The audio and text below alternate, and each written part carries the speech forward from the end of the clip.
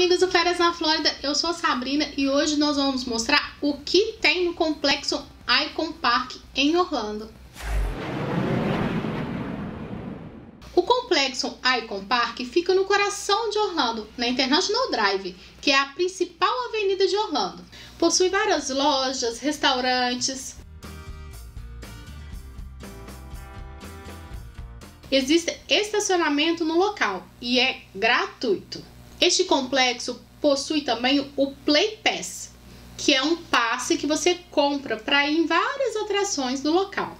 E ainda tem desconto em alguns restaurantes. Super compensa para quem irá fazer duas ou mais atrações, pois cada atração individual gira em torno de 12 a 30 dólares. Existem combos de duas, três atrações ou mais.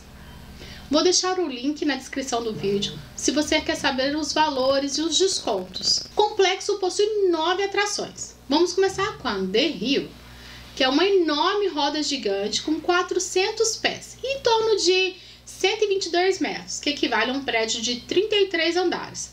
Para dar uma volta completa, demora em torno de 18 minutos. São 30 cápsulas de passageiros com ar condicionado Cada uma comporta até 15 pessoas. Essa atração foi inaugurada em 2015 e chamava Orlando Eye. Nós estivemos por lá e fomos os primeiros visitantes do dia. Ganhamos esse bottom incrível e adoramos. Tem cabine também especiais com pacote VIPs, chamados de Sky Bar. Você terá direito de consumir bebidas alcoólicas à sua escolha. Pode ser cerveja, vinhos e coquetéis. Essas cabines especiais você tem que fazer reserva no próprio site. Vamos falar da segunda atração do local, que é o Museu Madame Tussauds. É o famoso museu de cera com várias personalidades e muita interatividade. As figuras de personalidade são um tamanho real e cada um impressiona com seus detalhes. Achamos que de qualquer momento os personagens irão mexer de tanta perfeição que tem ali. Nos divertimos bastante também por lá. A terceira atração é o Sea Life Orlando Aquarium, que é um aquário com túneis que passa debaixo d'água, que te permite ter uma visão de 360 graus dos animais marinhos, né, dos peixes, arraias, tubarões, é bem legal também. A quarta atração é o Orlando Starfly, que é o famoso chapéu mexicano.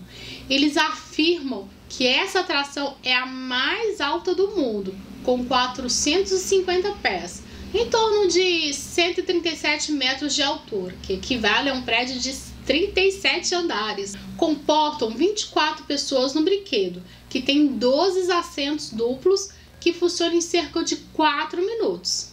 A quinta atração é o Peel Express Train, que é um passeio pelo complexo no mini trem. A sexta atração é In The Game Icon Park.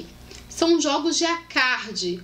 Alguns lá fazem até competições familiares. Quando você compra o PES, você receberá um cartão de jogos com 5 dólares que você pode utilizar nas máquinas e também uma entrada para o 7D Emotion, que é um jogo simulador de 7D.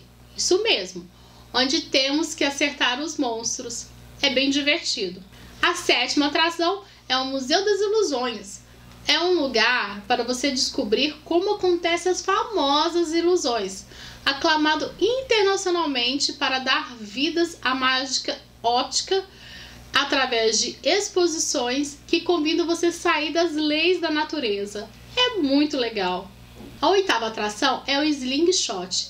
Literalmente é o lançador de pessoas em forma de estilingue. Daí o nome. Este em específico é em forma de um vulcão. Você será lançado como uma larva a mais de 100 milhas por hora, ou seja, 160 quilômetros por hora. Essa é a única atração que até hoje eu tive medo de ir. E você, tem coragem de ir nesse aí? Deixa nos comentários aí abaixo.